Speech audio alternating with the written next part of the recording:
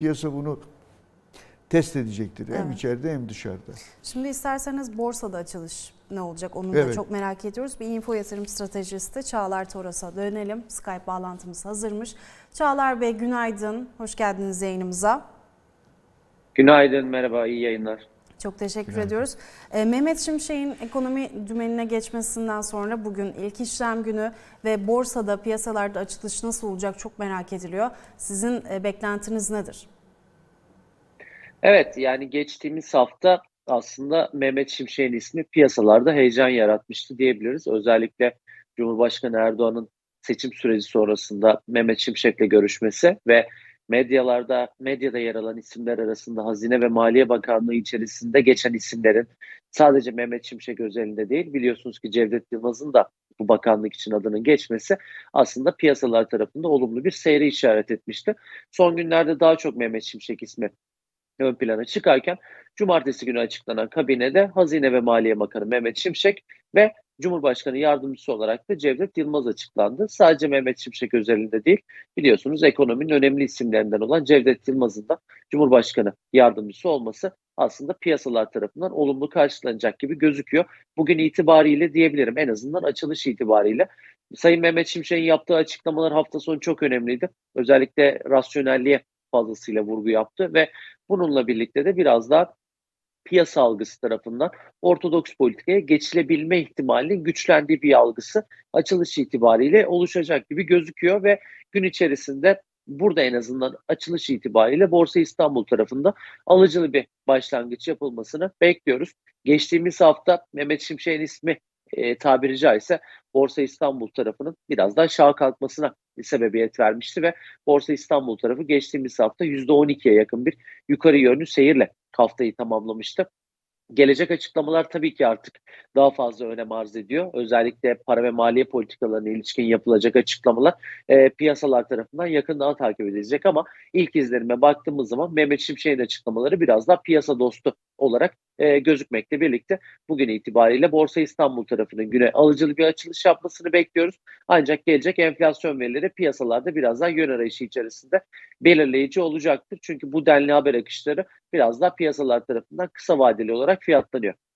Peki Çağlar Bey şunu da merak ediyorum. TL fiyatlarında olumlu, e, TL varlıklarında olumlu fiyatlamalar bekler misiniz? Yani giriş çıkışı kolay olan enstrümanlarda bir etki yaratır mı? E, Eurobondlarda pozitif bir ayrışma olabilir mi? Mehmet Şimşek isminin kredibilitesi yüksek çünkü. Evet yani Cumhurbaşkanı Erdoğan'ın balkon konuşmasında uluslararası itibara sahip bir finans yönetimi vurgusu aslında piyasaları geçtiğimiz hafta daha da fazla heyecanlandırmıştı ve e, Sayın Mehmet Şimşek'in de biliyorsunuz uluslararası e, uluslararası finans yönetiminde fazlasıyla adı bilinen bir isim ve bununla birlikte ben yabancı yatırımcı ilgisinin de yurt içi tarafına fazlasıyla e, kayabilme ihtimali yüksek buluyorum. CDS'ler tarafı seçim belirsizliği ile birlikte fazlasıyla yukarı yönlü seyirdeydi. Ancak geçtiğimiz hafta hem seçim belirsizliğinin bitmesi hem de Mehmet Şimşek isminin kulislerde fazlasıyla konuşulması ve artık tamamen Hazine ve Maliye Bakanı olarak Mehmet Şimşek'in kesinleşmesi neticesinde Eurobondlar tarafına da e, ilgiyi aslında bekliyoruz. Biraz daha getirilerin fazla olmasını bekliyoruz. Kur tarafına baktığımız zaman geçtiğimiz haftadan itibaren sert yükselen bir dolar TL kuru var. Artık kur tarafında da para ve maliye politikalarına ilişkin yapılacak açıklamalar ve bunlara ilişkin alınabilecek tedbirlerle birlikte bu seyri yakından takip edeceğiz ama opsiyon piyasalarına baktığımız zaman dolar TL tarafında 21.50'li seviyelerin yoğunlaştığını görebiliyoruz. Biraz daha yükseliş bekleyebiliriz kurlarda yukarıya doğru gibi öyle mi anlayalım Çağlar Bey? Yani şu an için kısa vadeli olarak opsiyon piyasalarında 21.50'li seviyelerin yoğunlaştığını görebiliyoruz. Evet belki e, Mehmet Şimşek ismi piyasaları heyecanlandırmış olabilir ama sonuçta artık bu saatten sonra para ve maliye politikalarının nasıl işlediğine bakacağız.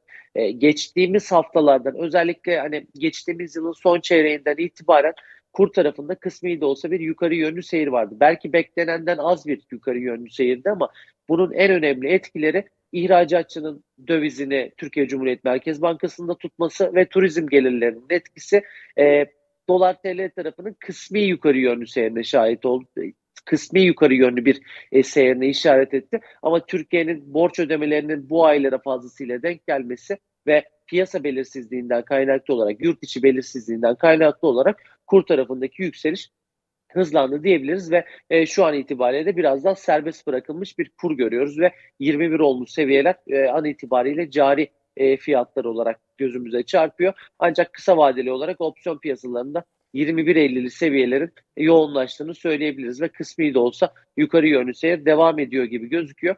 Ve bununla birlikte artık tamamen para ve maliye politikalarının nasıl işleyeceği ve bunlara e, gelecek, bunlara olacak gelecek açıklamalar aslında dolar TL tarafının da artık yönünü belirleyecek gibi gözüküyor.